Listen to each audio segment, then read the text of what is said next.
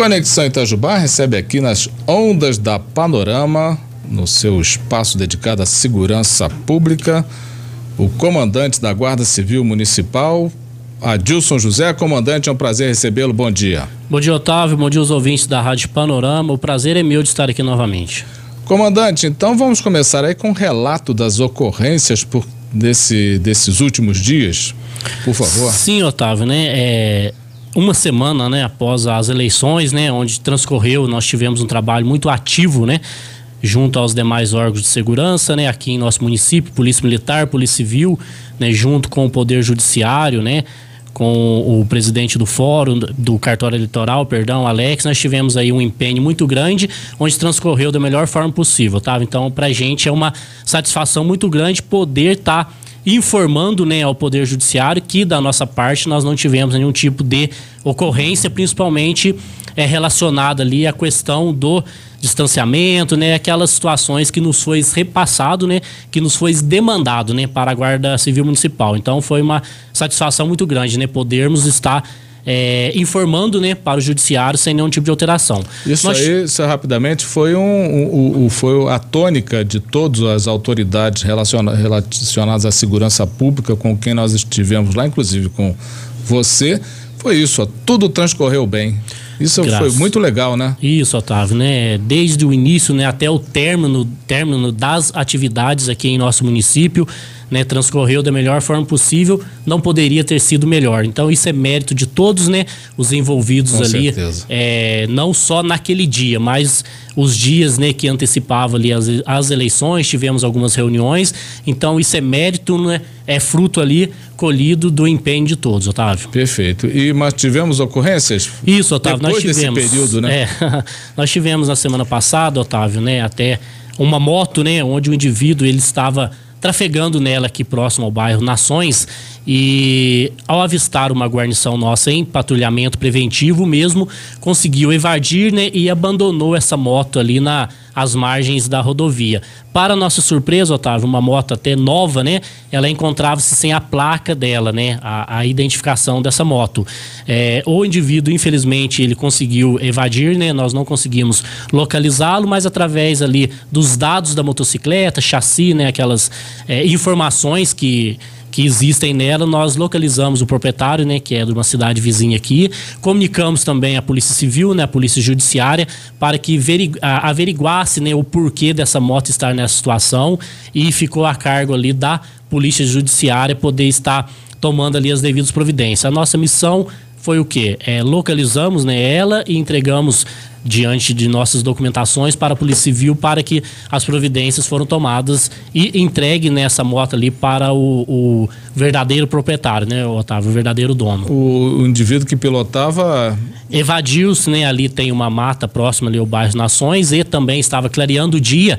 Achamos por bem não adentrar né, atrás dele que o objetivo era realmente ali estar recuperando essa moto, recuperando esse patrimônio ali do cidadão. Mas diante de uma investigação né, da nossa competente polícia judiciária, através do Everton, né, doutor Alexandre e os demais ali é, componentes da Polícia Civil, tenho certeza que vão dar uma resposta rápida sobre isso. Perfeito. Mais ocorrências, comandante? Otávio, nós, né, é, uma das demandas nossas é trabalhar mediante ofício né, de solicitação por qualquer um da, da população, qualquer um do povo, né? E também é nosso patrulhamento preventivo, nosso policiamento preventivo. Esse final de semana nós tivemos várias solicitações mediante ofício, né?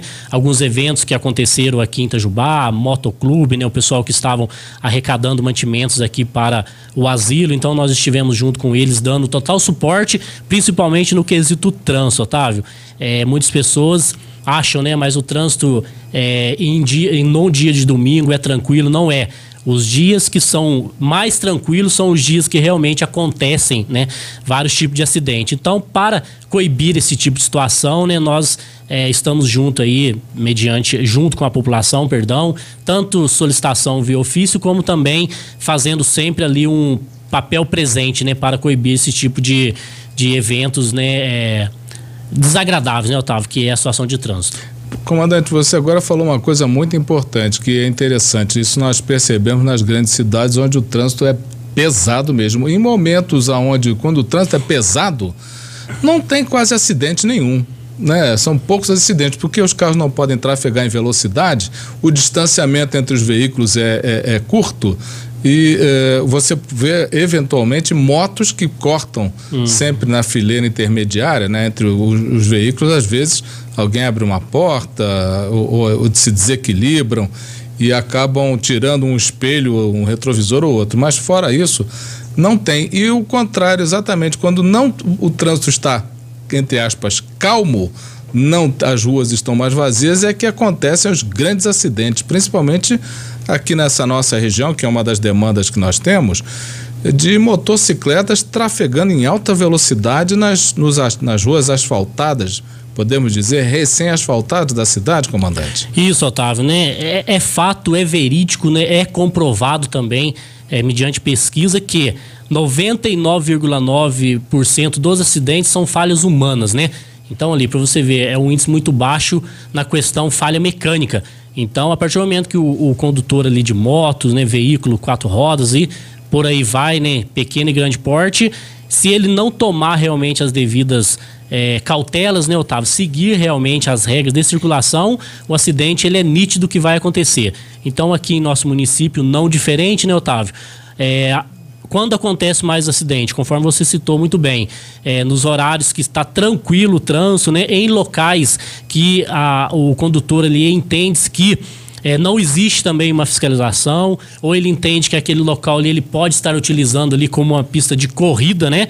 Infelizmente, tem alguns condutores que têm esse pensamento, e se porventura acontece um sinistro naquele local, né? Uma moto ou um veículo que sai em uma bifurcação, ele não vai ter chance realmente de parar ali o seu veículo ou moto. Então são nessas, nesses locais, né, nessas situações que realmente acontecem esse tipo de acidente, Otávio. Comandante, eu vou lhe fazer uma pergunta é, bem direta. As pessoas, é, os motociclistas de maneira geral, nessas é, blitz que a Guarda Municipal organiza, muitas vezes junto com a Polícia Militar, a quantidade de, de, de, motociclistas sem habilitação é grande? Otávio, temos, né? Um, não tão grande, mas nós temos aí um número sim é, considerável, né? Infelizmente, algumas pessoas estão aí utilizando moto, até mesmo veículos, né, Otávio? Sim. Sem habilitação documentação atrasada também. Então é bom estar atento sobre isso, né?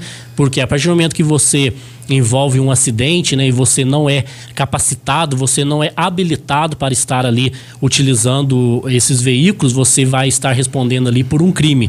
Então é muito importante você que você saiba disso, que não é simplesmente não é só simplesmente uma habilitação, né, ou uma documentação de veículo. Você a partir do momento que tenha ciência disso, né, que você vai pegar ali um, um, veículo automotor, né, uma moto, você pode sim responder ali por um tipo de crime, Otávio. É, eu pergunto isso porque é, é ou os motociclistas não têm carteira, não têm noção de. É, não todos, evidentemente, uma boa parte, não tem noção de trânsito, de fluidez de trânsito, de regras de trânsito ou, quando tiram a carteira, esquecem tudo, porque a quantidade de motociclista que corta pela direita dos carros, o que é proibido, corta pela esquerda, atravessando faixas de pedestre, quase atrapalhando. Isso nós temos dito aqui, querido ouvinte internauta, há muito tempo, e os problemas continuam e pioram à noite, quando a visibilidade é até menor. Isso, Otávio. Infelizmente, né, alguns condutores aí, eles é, desrespeitam, né? Eu digo que não, não é nenhum desrespeito com a sinalização, um desrespeito com o cidadão ali, né? Que está utilizando as nossas ruas, né? Utilizando o logradouro público. Você citou muito bem, Otávio. Em algumas situações do veículo, né? Parar em uma faixa de pedestre e o pedestre está terminando a travessia, vem uma moto, tanto pela direita como pela esquerda, ultrapassando né, em cima de faixa pedestre, que já é uma outra infração de trânsito, né, uma infração gravíssima, e ainda coloca em risco ali o pedestre que está realizando a travessia. Infelizmente, Otávio, quando nós deparamos com uma situação dessa, as providências são tomadas realmente né, de imediato. As infrações de trânsito são pesadas para esse tipo de condutor. Então é importante que você realmente respeite a vida, Respeite a sua vida e respeite a vida ali de terceiros, que todos nós utilizamos as nossas ruas, né? Utilizamos o logradouro público. Agora, desculpe ser chato com essa questão. E se o indivíduo não tem habilitação, o que, que acontece com ele? Otávio, ele pode ser até preso, né? por crime de trânsito se ele porventura envolver em um acidente, uma colisão simples, onde uma pessoa esteja atravessando a faixa pedestre. Conforme citei, Otávio, parece uma coisa simples, né? O condutor ali inabilitado, às vezes ele dá aquela famosa fuga, né? Vamos usar essa palavra, de uma viatura, tanto da Guarda Civil como da PM, e ele acha que naquele momento ele saiu numa vantagem negativo. A partir do momento que a gente conseguiu identificar a placa daquela moto, ele vai estar recebendo uma notificação em sua residência. Isso se o veículo estiver no nome dele. Se estiver em nome de terceiros e essa pessoa for habilitado, automaticamente ela será prejudicada. Então é, é, é muito importante que você saiba realmente nas mãos de quem você está deixando um veículo automotor. Ah, é, é, tem gente que pensa que motocicleta. Tem muitos pais, aliás, que irresponsável, irresponsavelmente pensam que motocicleta é brinquedo de Natal, brinquedo de aniversário, de dar o de presente para um filho que muitas vezes é menor de idade, que não tem habilitação e também não tem cabeça para pilotar uma máquina que pode matar alguém. Então fica aí essa advertência. É, o Jorge Dastre, ele diz aqui, bom dia, parabéns ao comandante Adilson, por favor esclarecer o conflito semáforo versus travessia de pedestre. Bom, Otávio, né, é, existe aquela situação onde o, o semáforo, o pedestre também tem que estar em entendimento ali com o semáforo, né? Verde para os veículos vai estar vermelho para os pedestres. Então você tem que ter essa noção realmente. É muito importante que o pedestre também ele conheça um pouco ali as regras de circulação. Não é simplesmente estar tá no verde para o veículo, ele vai estar atravessando a faixa, entendendo-se que aquilo é um direito dele.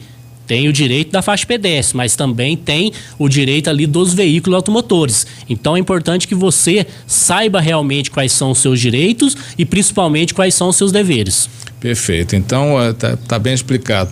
Não é porque tem uma faixa de pedestre e o pedestre tem a preferencial que o pedestre também vai avançar no sinal que está aberto para o veículo, que o veículo pode estar numa velocidade X e não parar tempo né? Pode ter uma perna quebrada aí de bobeira, né, querido ouvinte? Com, Otávio, se você me pois permite, não, claro. é, já dentro desse assunto, né, nós estamos trabalhando, fazendo também um trabalho conjunto com a Polícia Militar, né, é, sobre essa questão dessas bicicletas motorizadas. Vocês, pais, né, que dão essas bicicletas de presente ali para o seu filho, né, com menos de 18 anos de idade, saiba que você está entregando uma arma para ele. Né? Todo veículo que ele é de combustão, que são essas questões dessas bicicletas motorizadas, não pode. Tem que ser maior de idade, tem que estar utilizando os equipamentos previstos ali nessas bicicletas, Otávio. Essa observação é importante. Então, bicicleta motorizada não pode ser conduzida por menor de idade. Negativo, não podem, até porque, Otávio, eles até então, né, vamos. É, utilizar essa palavra, eles não respondem por eles, né, Otávio? Sim. Você pega ali um menor de 17 anos, 364 dias, e ele até então não responde por ele, né? Assim diz o Código de Processo Penal. Mas para eles cometerem é, vários tipos de, de, de, problemas, né? Tanto na questão trans como na questão penal, aí sim eles têm o amparo. Então vamos fazer valer a lei, né, Otávio? Nós, Perfeito. como os responsáveis aí pela aplicação das leis, estamos de olho nisso, estamos recolhendo várias bicicletas motorizadas com, essas, com esses adolescentes, né, utilizando aqui em nosso município, colocando a sua vida, dando dor de cabeça também para os pais e principalmente colocando vidas aí de terceiro passam em sinal vermelho, é, faixa de pedestre para eles não existem, placas pare, Otávio, né? Às vezes a gente depara com alguma situação desses menores aí atravessando em alguns locais de placa pare como se estivesse transitando em uma rodovia de trânsito único e trânsito rápido, né? Então, assim, negativo, nós vamos estar de olho nisso para resguardar a integridade de todos. Outra questão aqui é, bom, é quando ele fala bom dia, Otávio, bom dia, comandante Adilson, eu imagino que seja o vereador Zé Maria. o atendimento do posto de saúde do Reborjão está sendo prejudicado pelos motoqueiros que tiram o miolo do escapamento, atrapalhando o médico. Uh, é, que precisa escutar batimento cardíaco de pacientes, principalmente no período noturno, já que o posto de saúde atende até as 22 horas. Solicito atenção a essa reclamação. Obrigado. Bom, Otávio, eu já fiz uma ordem de serviço, né, conforme demandas nossa, das 16 às 22 horas a gente está realizando um ponto base naquele local, né, conforme a gente fala, e também uma fiscalização para que realmente os profissionais de saúde eles tenham condições de poder re estar realizando seu trabalho. E não justifica esses condutores de moto, né, conforme nós também realizamos isso, que é o quê? A partir do momento que você depara com essas motocicletas, Otávio, utilizando ali um, um escapamento que não é original da moto, ou que eles fazem qualquer tipo de alteração é, em sua motocicleta, nós estamos tomando as devidas providências. Desde uma multa até a retenção do veículo e até a remoção dessas motocicletas. Então nós estamos de olho nisso e já agradeço também a participação, né? É, do ouvinte que nós já estamos tomando essa providência ali no bairro Reborjão. É, outra coisa que a gente tem que comentar, mas eu peço uh, que seja rápido, comandante, porque a gente já está com o tempo esgotando, é a questão da perturbação de sossego. Vamos falar dela porque nós nos comprometemos aqui no início. E a reclamação de que tem vindo aqui no programa é que parece que os donos desses estabelecimentos ou não conhecem a lei ou procuram ignorar a lei porque tem havido insistência dos, dos mesmos, uh, das mesmos lugares tendo uh, essa questão de perturbação com a vizinhança. Otávio, é, realmente é, é, muito importante nós estarmos falando da perturbação do sossego, por quê, Otávio? Conforme consta, né, em nossa Constituição, meu direito termina onde começa o seu. A partir do momento que nós, né, da Guarda Civil Municipal, a gente recebe qualquer tipo de solicitação por parte ali do, de algum morador, nós estamos sim tomando as providências, estamos fazendo o nosso relatório, né, o nosso BOS, encaminhando para a prefeitura. Então você, proprietário de estabelecimento, né, não se surpreenda se porventura você tiver o seu avará caçado, né? Porque devido a essa insistência em não estar respeitando o direito ali do morador vizinho, seja área urbana, seja área rural.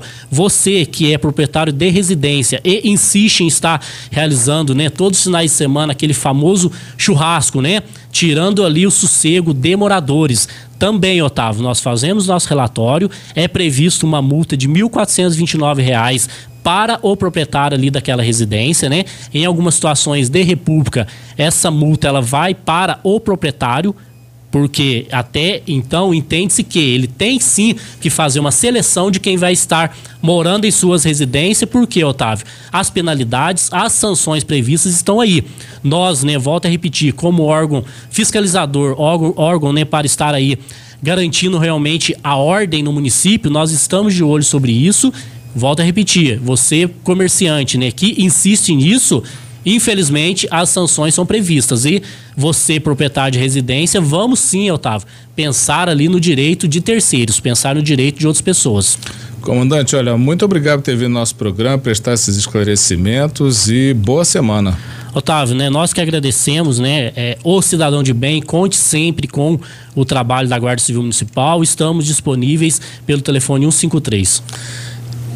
Esse é o comandante da Guarda Civil Municipal de Itajubá, Adilson José, participando aqui do nosso espaço dedicado à segurança pública no Conexão Itajubá, nas ondas da Panorama.